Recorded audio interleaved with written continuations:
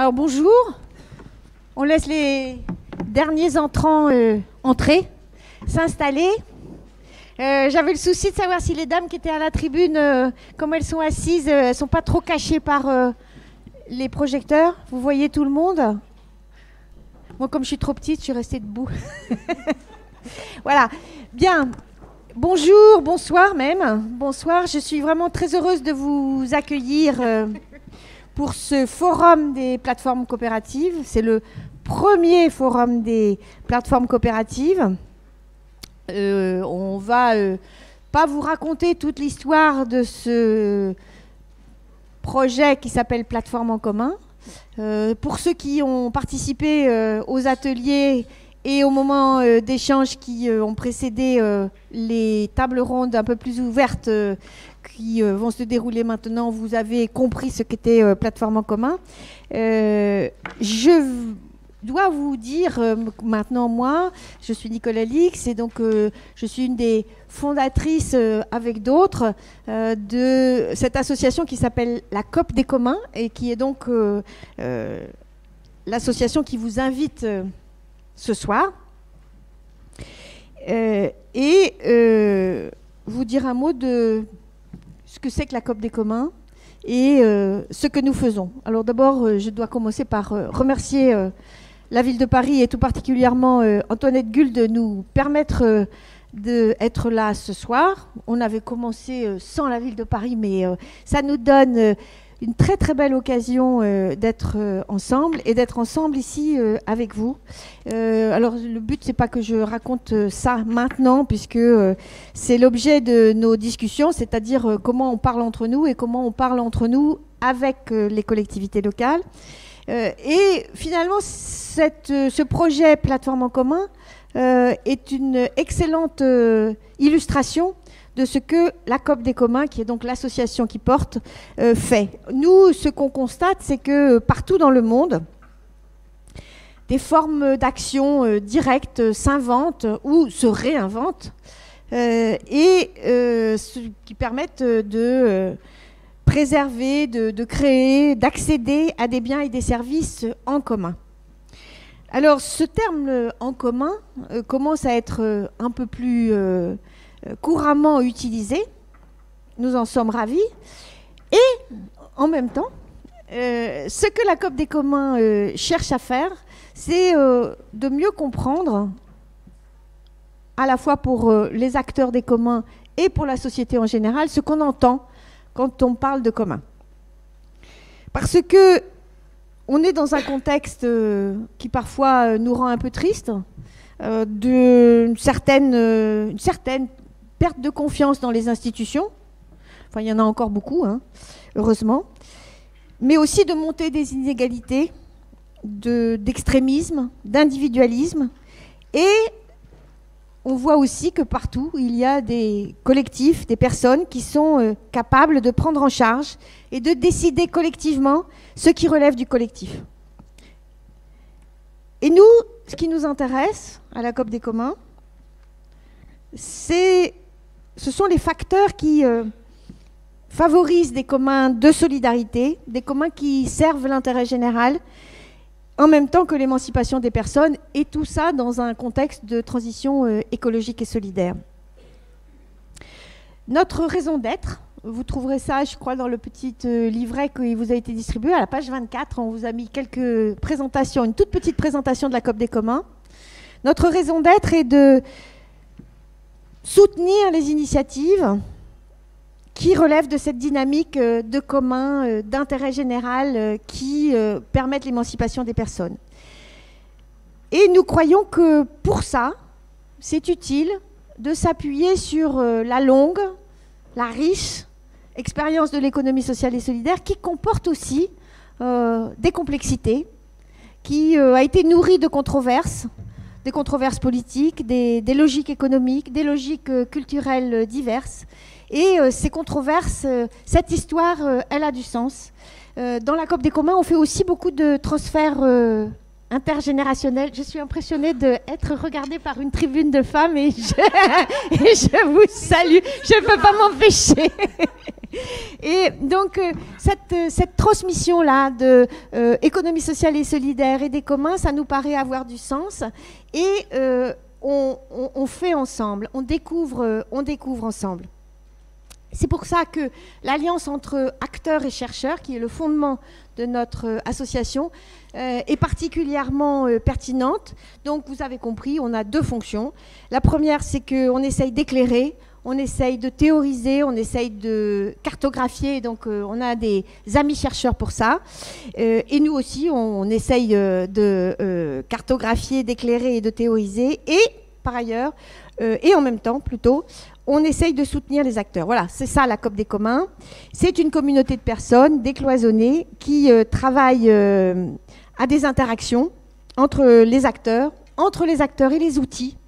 Parce que on a euh, la certitude que les outils ne sont pas neutres et qu'il euh, faut aussi parler de gestion, même quand on parle de commun, ou surtout quand on parle de commun, et que c'est au travers de...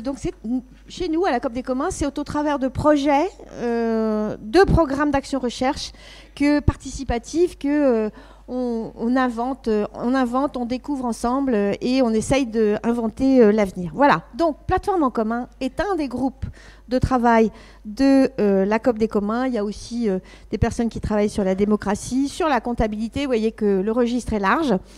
sur la protection sociale.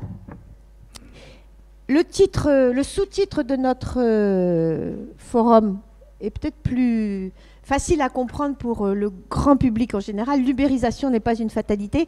On voulait évidemment pas euh, mettre l'accent sur euh, l'ubérisation, mais parce que nous, ce qui nous intéresse, c'est les grains de sable, c'est les alternatives, c'est ce qui se fait dans des modèles originaux qu'on va vous présenter.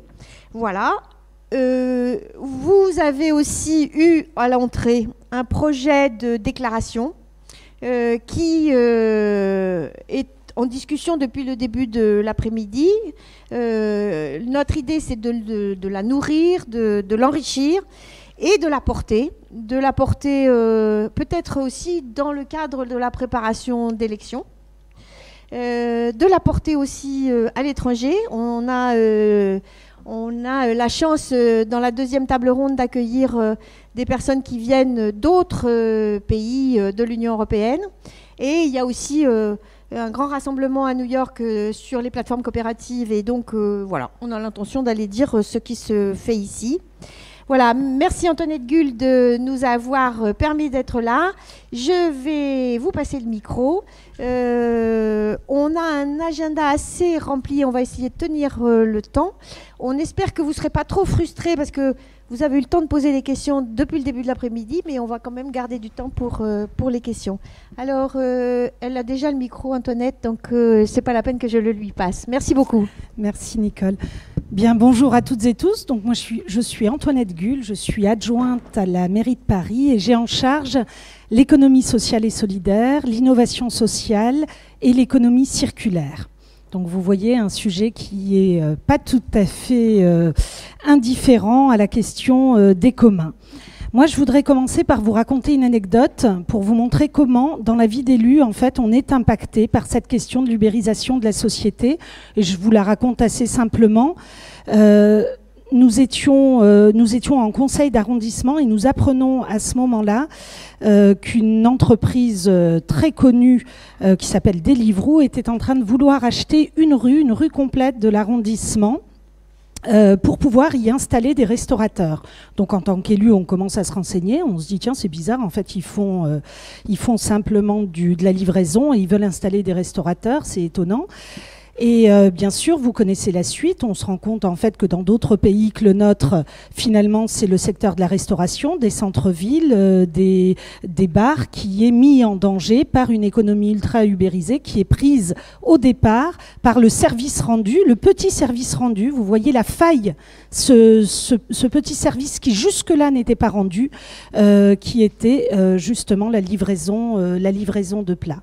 Et donc, en tant qu'élu, nous, on est garant euh, de, j'allais dire, de la vision de la société pour laquelle vous nous avez, euh, vous nous avez élus. Et donc, on, on se dit, ben, c'est pas possible, on peut pas se dire qu'une qu'une rue tout entière est privatisée au détriment de centaines de commerçants, de centaines de restaurateurs qui sont déjà installés, qui, sont, qui font la vie sociale de l'arrondissement. Et donc là, on commence à chercher quelles sont les solutions que nous avons en main pour pouvoir limiter les dégâts, j'allais dire soit interdire, soit réguler, soit euh, créer autre chose.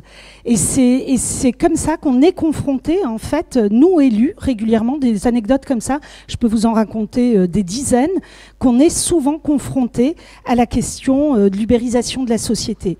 Moi, en tant qu'élu et en tant qu'adjointe, j'ai également une autre responsabilité qui est celle de pouvoir faire émerger des structures qui inventent une autre manière de faire de l'économie, très proche de ce que décrivait euh, bien sûr Nicole, c'est-à-dire une euh, Nicole Alix, pardon, une économie qui est une économie à la fois solidaire, une économie qui crée du lien social, qui protège l'environnement et dont tous les impacts sont des impacts euh, positifs et qui va aller s'intéresser bien plus à l'humain qu'au profit. Cette économie, n'est pas simple aujourd'hui de la créer et là où la plateforme numérique va aller, je pense, servir euh, le développement d'une économie sociale et solidaire, c'est justement qu'elle va pouvoir lui permettre de changer d'échelle, mais aussi de répondre à des nouveaux besoins. Donc, euh, voilà, je voulais euh, simplement là, peut-être en guise d'introduction, vous dire ces deux éléments, vous dire également que nous, que nous avons à faire, à faire face à d'autres risques par rapport à cette économie qui est euh, très ubérisée. Et moi, le premier risque que je vois, en fait, c'est un risque, j'allais dire, démocratique, qui est qu'en fait, euh, les politiques publiques que nous menons sont heurtées en permanence par un développement absolument excessif de toutes ces plateformes ubérisées, que ce soit sur le logement, que ce soit sur le transport, sur la mobilité, que ce soit dans l'exemple que je viens de vous donner sur la vie locale, une politique de commerce et de restauration, on se retrouve en fait à faire face à un phénomène qui est exponentiel en termes de développement et qui vient heurter notre capacité d'élus à mener des politiques publiques.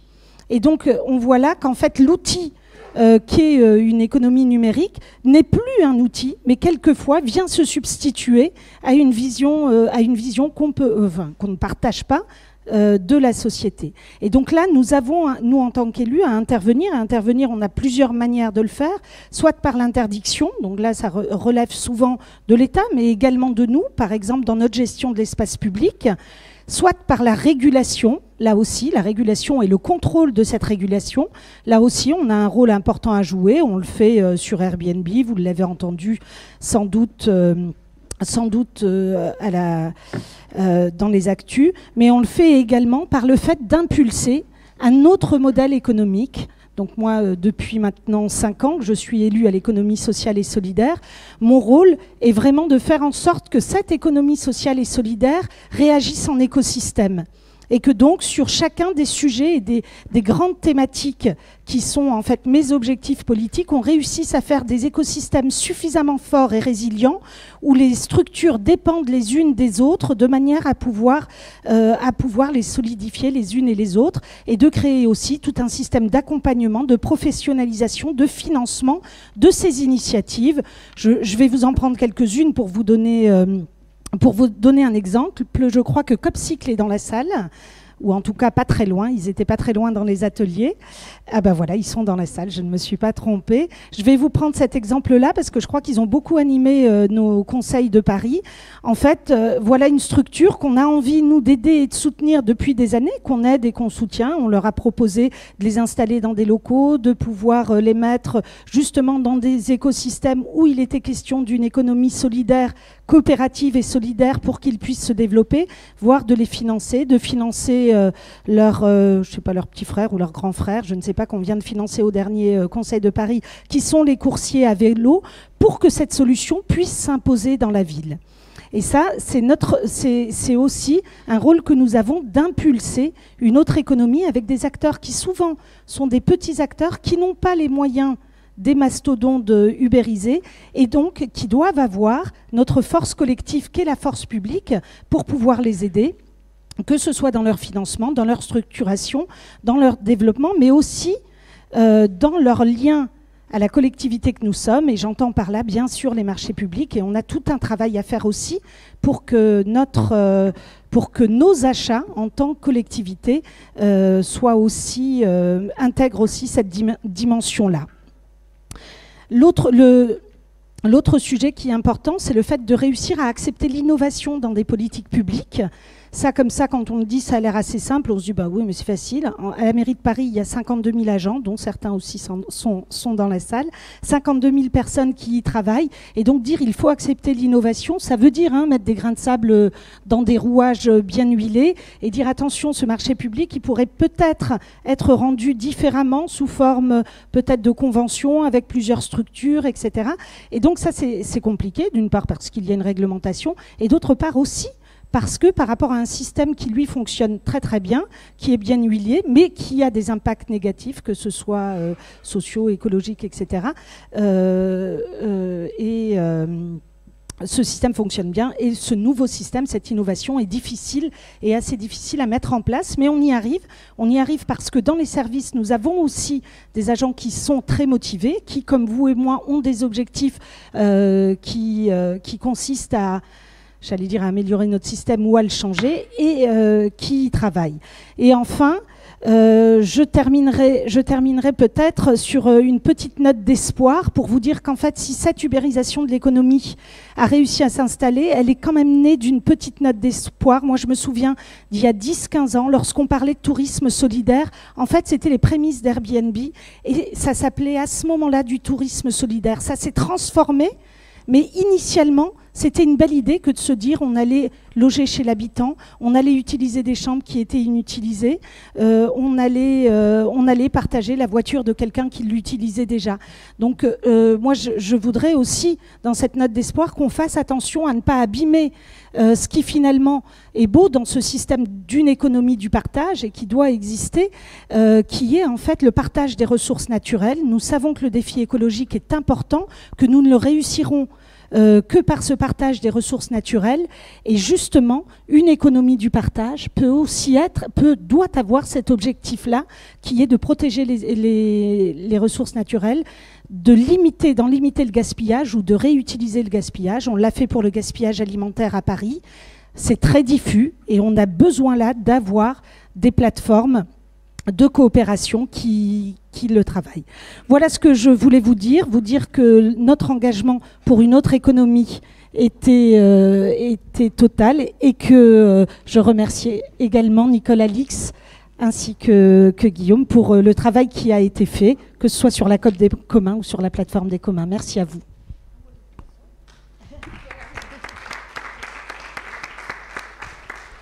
Merci beaucoup, euh, Madame Gull, pour ces propos introductifs, euh, plein d'espoir, du coup, et, euh, et, aussi ce témoignage de l'intérieur, en tant qu'élu d'une ville qui est touchée par les, problématiques d'ubérisation, mais également par les envies de répondre via des solutions.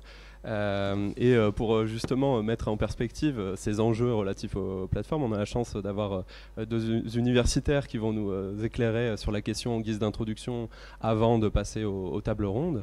Euh, donc euh, tout d'abord euh, Dominique Méda, qui est professeur de sociologie à l'université Paris-Dauphine, entre autres engagements, qui participe à la coordination avec Sarah Abdelnour d'un projet de recherche sur le capitalisme de plateforme nommé CAPLA. avec une quinzaine de chercheurs qui investiguent les conditions des travailleurs sur des plateformes telles que Uber, Deliveroo, et qui viennent de publier justement un livre collectif, Les nouveaux travailleurs des applis, il y a à peine deux semaines, je crois, aux presses universitaires de France. Donc, euh, euh, je vous demanderai peut-être d'abord, euh, dans un premier temps, d'expliciter justement les, thématiques liées à l'ubérisation, aux, problématiques que, celle-ci pose, aux tentatives aussi de mobilisation et de régulation des grandes plateformes. Et ensuite, dans un deuxième temps, Corinne Vercher-Chaptal, qui est professeure en sciences de gestion à l'Université Paris 13 et qui coordonne un autre projet de recherche intitulé TAPAS, Zara Platforms as Alternatives, euh, et qui investigue justement les modèles économiques de travail, d'organisation, de plateformes qui essayent de, proposer d'autres modèles euh, d'économie euh, collaborative. donc je commencerai d'abord par, poser une question à, Dominique. quels sont selon vous les enjeux que pose l'émergence des plateformes et pourquoi ces dernières suscitent-elles autant de défiance aujourd'hui? Merci Guillaume, merci euh, à tous, merci à Nicole pour, euh, pour l'invitation. Je vais peut-être repartir de ce que vient de dire euh, Antoinette Gull en, conclusion hein, sur l'économie du partage ou l'économie collaborative. Tout se passe comme si on avait eu une véritable métamorphose, hein, puisqu'au début, vous vous souvenez, on y croyait, ça s'appelait partage, collaboration. On se disait qu'on allait faire du pair à pair, ça allait être horizontal, on sortait de la méchante hiérarchie, on rentrait dans des échanges vraiment proches, cours, danse, euh, et puis tout ça s'est complètement transformé, ça a été récupéré. C'est une véritable récupération, c'est encore une ruse du capitalisme tout à fait exceptionnelle, parce qu'il euh, y a eu une récupération par les, par les grandes plateformes euh, très rapide, très, très sidérante, et, et, il est évident que les promesses de l'économie collaborative n'ont pas, été, pas été tenues. Alors Guillaume, vous disiez pourquoi cette, cette défiance? Bah, Parce que ce qu'on voit quand même dans le système tel qu'il s'est développé, là, euh, c'est d'énormes défauts de ce système. Hein. D'abord, un envahissement euh, de tous les espaces par la marchandisation. Euh, dans le petit bouquin que, vous citiez, on a des collègues qui regardent par exemple à la fois le, micro-travail, mais aussi des, des plateformes comme La Belle Assiette ou, ou, Etsy, où ce sont des gens qui, de façon un peu plus calme que sur d'autres plateformes, bah, finalement essayent de rendre leur temps disponible, rentable. Voilà, on fait un peu la chasse au temps improductif et, tout se transforme finalement euh, en, travail et en possibilité de, rentabilisation. Deuxièmement, on a un développement de grosses structures très capitalistes, hein, très capitalistiques, euh, qui euh, emmènent le, capitalisme, je dirais, une étape encore plus loin, puisque ces plateformes, elles ne possèdent pas le capital. Elles vont demander, par exemple, aux, chauffeurs ou aux, aux livreurs d'acheter leur vélo, d'acheter leur voiture. Donc elles, elles n'ont aucun coût. Euh, et, simplement, c'est le collaborateur qui doit, tout, supporter. Et puis, il y a ce que vous disiez aussi tout à l'heure, la tendance à la monopolisation. Hein. on a des plateformes énormes qui, occupent tout, l'espace. Euh, et, le troisième point, évidemment, ça concerne le travail.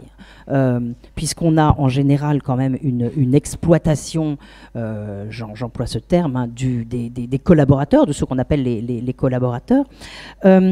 Dans notre petit bouquin, il y a des chercheurs qui réutilisent le terme de tâcheronat, hein, qui disent qu'on est tout simplement en train de revenir au tâcheronnage du, euh, du, 19e siècle, avec, souvenez-vous, c'est-à-dire que la plateforme d'aujourd'hui euh, assume les fonctions du tâcheron au 19e siècle, c'est-à-dire celui qui prenait euh, la commande chez un, chez, un marchand, par exemple, de, de tissu, et qui la distribuait à des ouvriers qu'il rémunérés à la, à la pièce. Et évidemment, il les étranglait complètement parce qu'il essayait d'en garder le plus possible, de même que c'est euh, euh, plateforme euh, essaye de prélever les, les, les, commissions. Et donc, nous, ce qui nous a paru, on, travaille aussi avec des juristes sur, sur ces plateformes, ce qui nous a paru vraiment le plus embêtant, c'est la manière dont les travailleurs sont traités dans, ces, dans ces plateformes. C'est-à-dire que vous savez que très souvent, on les oblige, on exige d'eux qu'ils soient micro-entrepreneurs et que s'instaure donc une relation avec des, des, des, conditions générales d'utilisation, mais surtout pas de salariat. Et donc, ces travailleurs sont très peu protégés. Euh, et donc à la fois pour le droit de la euh, protection sociale, mais aussi le droit du travail, euh, pas de salaire minimum, pas de congé, pas d'heures supplémentaires, etc. Et c'est évidemment ce qui nous a paru le plus, le plus ennuyeux, alors même qu'il est évident que dans un très grand nombre de cas, c'est du salariat, mais simplement c'est du salariat déguisé. Ça veut dire que on a quand même une, concurrence déloyale qui s'opère avec les autres, les autres acteurs économiques, et c'est peut-être le, quatrième, le quatrième point qui explique la, défiance, c'est que ces plateformes, elles sont en train de détruire non seulement euh, de l'emploi, mais aussi des professions, des professions euh, organisées euh, qui n'en demandaient pas tant, en, vendant à perte et donc en, faisant une concurrence tout à fait déloyale. Et quelles sont du coup les, les formes de régulation que vous avez pu observer? Et est-ce que celles-ci sont suffisantes euh, pour garantir de, meilleures pratiques dans l'économie de plateforme. Oui, j'ai pas parlé donc des mobilisations, hein, vous, avez tous suivi ça au, moins aussi bien que nous. Hein. Euh, donc nos chercheurs ont été sur, euh, sur les lieux de mobilisation, voir les Uber, voir les Deliveroo, voir tous les gens qui se, mobilisaient, notamment parce que les commissions prises par les plateformes avaient, augmenté. Bon, qu'est-ce qu'il y a eu comme, comme tentative de régulation? Concernant les chauffeurs, on a eu la loi Grand Guillaume en 2016, je rentre pas dans le détail, hein, il s'agissait tout simplement de remettre un peu d'ordre dans l'énorme dysfonctionnement qu'avait provoqué l'arrivée des, des, lotis et donc le fait que à peu près n'importe qui pouvait s'intituler chauffeur. Euh, donc euh, voilà, là il y a eu le retour d'un examen. On a demandé aux gens de passer un, examen euh, et, cette loi a un peu, arrangé les, choses. Après, plus récemment, on a eu des chartes. Vous savez qu'à plusieurs reprises, on, vous savez pas, à plusieurs reprises, on a tenté de réguler les rapports entre les plateformes et les collaborateurs par des chartes à plusieurs reprises, le, gouvernement a essayé de faire passer ça dans des lois, mais ça n'a pas marché. Et donc là, euh, la, charte, c'est l'article 20 de la loi d'orientation des mobilités.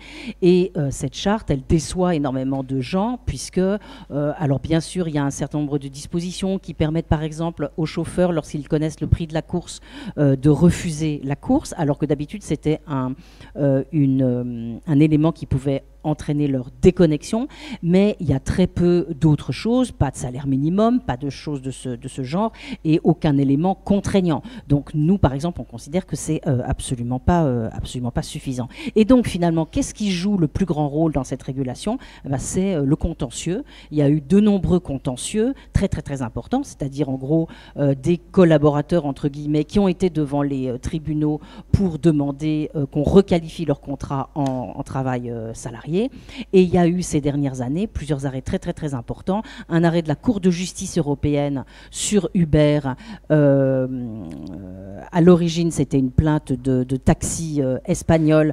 Et donc, euh, la Cour de justice de l'Union européenne a dit que ça n'était pas une simple plateforme permettant de faire en gros de, la mise en relation entre des personnes, mais que Uber était bien une entreprise de transport. Et puis il y a eu deux autres arrêts très très important, celui de euh, la Cour de cassation en novembre 2018 qui a requalifié les euh, les collaborateurs de Take It la Cour de, cassation, c'est la plus haute instance, donc on peut penser que ça va faire jurisprudence. Et donc, prenant prétexte de la géolocalisation et euh, du, des, relations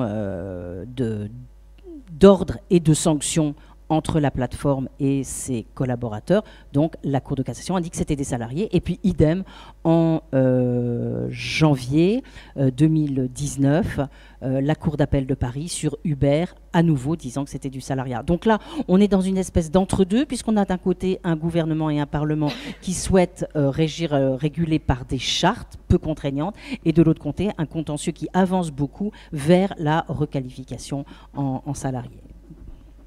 Merci Dominique. Alors, par ailleurs, euh, un certain nombre de plateformes justement expérimentent une autre voie qui est plutôt celle des alternatives, c'est-à-dire se réapproprier la plateforme entre utilisateurs. Euh, euh, Corinne, vous avez étudié, vous, vous êtes en train d'étudier un certain nombre de plateformes alternatives, coopératives. déjà, qu'est-ce qui distingue ces, plateformes des plateformes dominantes dont on vient de parler? Alors oui, effectivement, on, est en cours, hein, on est à mi-chemin de la recherche. Peut-être aussi pour faire le lien avec euh, avec euh, la, conclusion de Dominique Méda qui faisait le point sur des formes de régulation. Euh, ces plateformes alternatives, dont je vais vous donner quelques caractéristiques telles qu'on les observe sur les terrains, elles, permettent aussi d'envisager la régulation dans un sens positif. Donc il y a la régulation plus contraignante hein, qui va obliger les, gros prédateurs à rentrer dans le rang d'une certaine manière mais il y a des régulations aussi plus habilitantes et plus positives euh, dès lors qu'elles s'intéressent à de quoi ont besoin ces alternatives et, peut-être que pour l'acteur public aussi soutenir ces formes de régulation euh, habilitantes, euh, il, y a un enjeu, fort. Alors, donc, quelques, points sur ces plateformes alternatives qui ont, bien besoin de, soutien, euh, même si elles œuvrent beaucoup euh, euh, sur le terrain. Alors déjà, si on reprend la forme un peu classique hein, de, des grosses plateformes oligopolistiques, c'est vrai que bon, ben, euh, c'est qu'elles sont euh, complètement sur le monde marchand, dans l'économie euh, marchande, hein, puisqu'elles sont là pour tirer profit de la nouvelle économie, de capter des données, d'extraire, de contrôler des données pour générer des revenus. Donc on est parfaitement dans un modèle marchand, ce qui fait dire à, certains chercheurs hein, qui travaillent avec nous, et notamment je pense à Benjamin Coria, qu'il s'agit réellement d'entreprise plateforme. Donc mettons bien le terme d'entreprise. Euh, et, par ailleurs, elle se caractérise hein, par une gouvernance très verticale et, euh, une appropriation euh, de, de, la valeur par le gestionnaire de la plateforme. Alors, à contrario, donc les plateformes alternatives, qu'on peut appeler dans un sens très large coopératives ou contributives, je vais garder ce vocable de plateforme alternative, elle se démarque très clairement de ce fonctionnement centralisé et extractif hein, des entreprises plateformes, puisqu'elle s'organise de manière plus horizontale, j'y reviendrai plus démocratique, hein, et elle vise à développer une gestion beaucoup plus partagée de la plateforme et aussi de la valeur euh, euh, qu'elle génère. Alors ce qui est important aussi euh, comme élément de différenciation, c'est qu'elles ouvrent un espace pour s'émanciper des principes purement marchands, puisqu'elles vont quand même chercher dans leur modèle économique à faire cohabiter les échanges marchands avec des logiques de réciprocité, hein, logiques de réciprocité selon lesquelles la production de services vise avant tout à entretenir le lien social et à l'environnement. Et ça a été très fort dans les ateliers cet après-midi. Hein, euh, il y a des représentants de Mobicop hein, euh, où on disait ce qui compte, c'est le lien à la communauté. On, va vers des périodes difficiles. La notion de lien, d'authenticité euh, va probablement faire la différence. Chez Oiseau de Passage, c'est pareil, le lien entre les offreurs de voyage et euh, les personnes qui vont sur la, plateforme et au cœur euh, et au cœur euh, du, modèle économique. Donc en termes de caractéristiques, elles, donc, elles, vont tenter, dans des mesures différentes, bien entendu, de redéfinir la propriété, d'incarner des principes démocratiques, solidaires et de développement des capacités individuelles et collectives. Alors concrètement sur le terrain, on voit des plateformes qui, expérimentent une gouvernance démocratique avec des espaces de délibération et qui vise à permettre à la communauté des usagers et des contributeurs hein, de ne pas être complètement déconnectés euh, des décisions et de la maîtrise de l'évolution de la plateforme et éventuellement de pouvoir avoir une action en cas de captation ou de prédation hein, euh, d'acteurs marchands euh, dominants. Donc il y a certaines plateformes Hein, puisqu'on les citait, Open Food France, hein, euh, qui, revendique la notion d'assemblée générale permanente, hein, qui vont utiliser des, des, logiciels de prise de décision euh, euh, collective, tels que Lumio par exemple. Alors elle se caractérise aussi par une attention particulière à la question du travail, de sa protection, euh, de son émancipation. Donc CopCycle, de manière évidente, hein, puisque son objectif, euh, vous le disiez, hein, c'est d'offrir un support numérique aux euh, livreurs, hein, aux coopératives de livreurs à vélo qui luttent contre le développement du travail indépendant. Donc il s'agit, via la, logique coopérative, hein, de réintégrer euh, l'activité euh, dans le salariat avec les protections sociales qui lui sont associées. Il y a d'autres plateformes qui valorisent des principes non monétaires et ou non marchands. Je pense à France Barter qui propose qui est une plateforme de mise en relation d'acteurs économiques en B2B et qui propose une monnaie complémentaire qui est le barter. Euh, il y a également d'autres plateformes dont l'objectif affiché consiste à faire en sorte que l'accès à une ressource jugée importante ne fasse pas l'objet de transactions marchandes. Et là, je pense à Mobicop, hein, euh, qui ne prélève pas euh, de transactions sur le covoiturage qui est pensé comme un commun. Alors bien sûr, hein, euh, la question se pose sur le plan économique et gestionnaire. Euh, du développement et de l'avenir hein, de ces plateformes collaboratives et de leur capacité à exister euh, par elles-mêmes de manière autonome en évoluant dans, le monde marchand sans se faire capter. Et c'est justement l'objet de TAPAS, hein, du projet de recherche, que d'identifier des modèles économiques et organisationnels novateurs qui permettent le développement et la pérennisation de ces plateformes.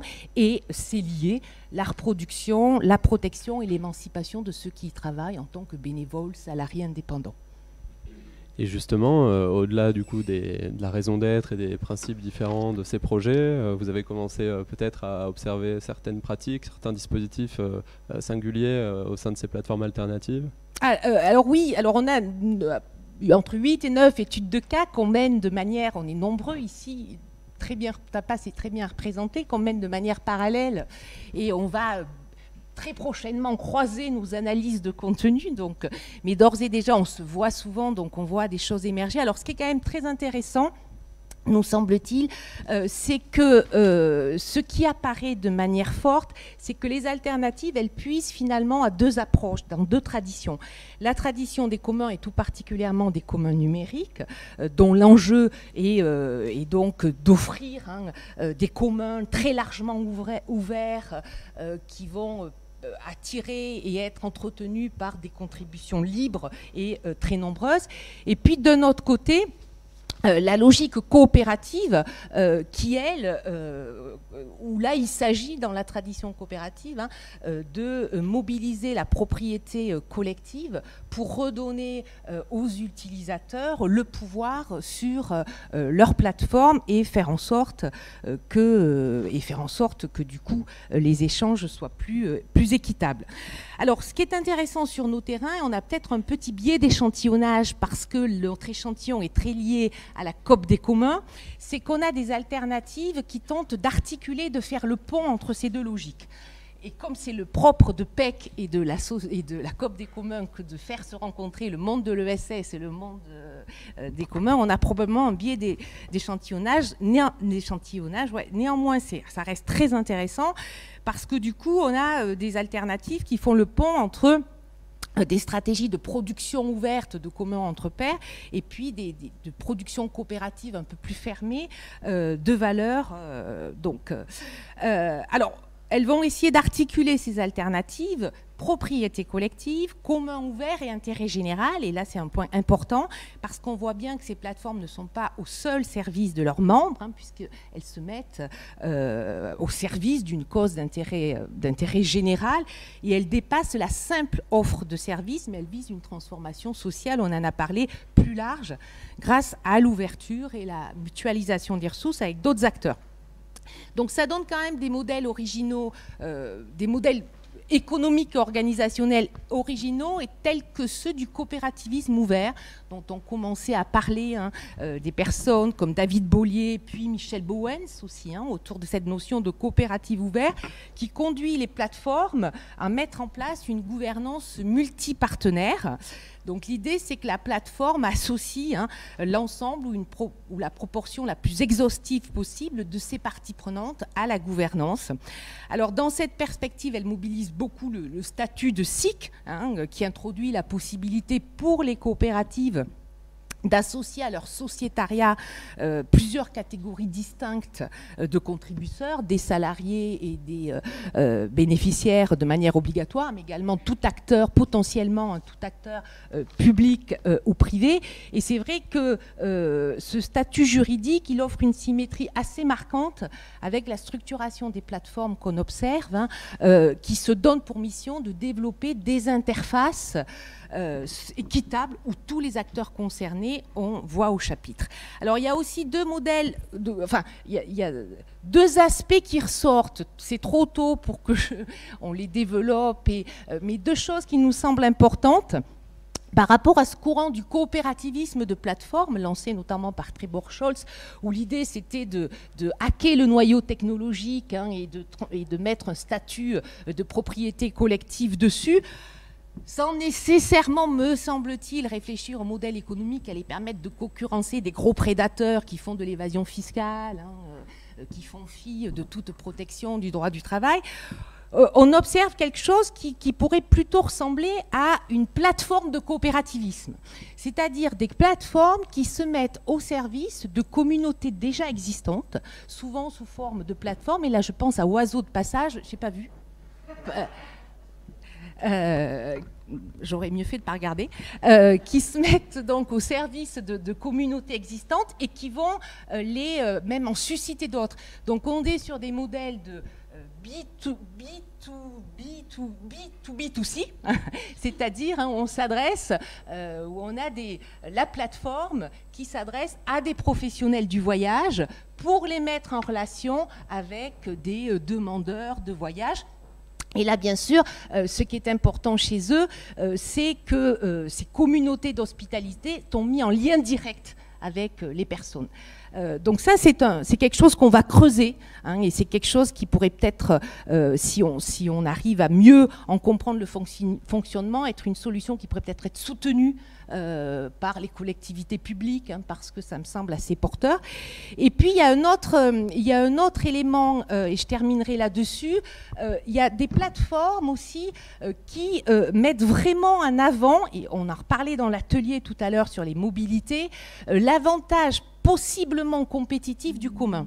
Euh, c'est-à-dire, je pense à Mobicop, par exemple, euh, qui dit hein, euh, on ne fait pas euh, du covoiturage, mais on fait baisser l'empreinte carbone. Et c'est pour ça que les gens viendront chez nous. Et tout à l'heure, dans l'atelier, j'avais pris des notes, mais je ne sais plus où les ai mises. Hein. L'idée, c'est de se dire on va donner du sens à notre service. Et c'est pour ça que les gens viendront chez nous.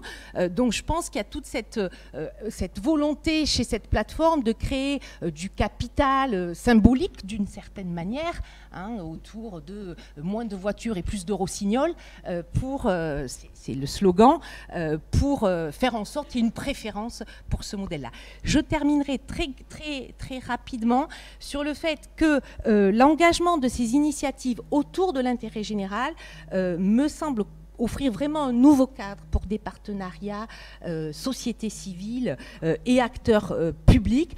Alors, et, de fait, moi, je suis assez optimiste parce que la question de la fragilité des difficultés qui sont bien réelles quant au modèle de développement, dès lors qu'on ouvre la question à, la, à la manière dont on peut repenser l'action publique, eh bien, ça met les choses sous un jour nouveau et peut-être euh, plus positif.